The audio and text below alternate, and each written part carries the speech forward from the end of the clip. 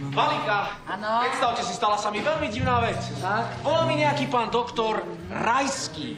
Čo? Mudr- To urobíš, Radko ja Rajský. sa tak teším. A ja.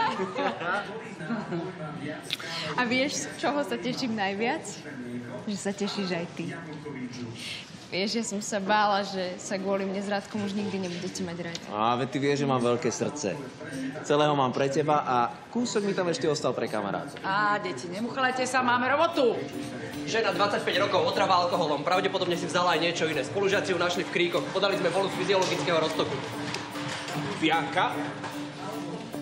Poďme na tri. Raz, dva, tri. Hanka, ruky preč, to je moja pacientka. Nabrať krv, bolu z tekutín a monitoring vitálnych funkcií.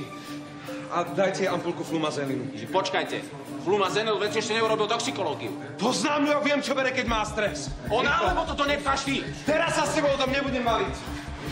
Dušan, viem, že ho nenávidíš a ja tiež a naozaj nerozumiem tomu, prečo ho tu moja mama ešte drží.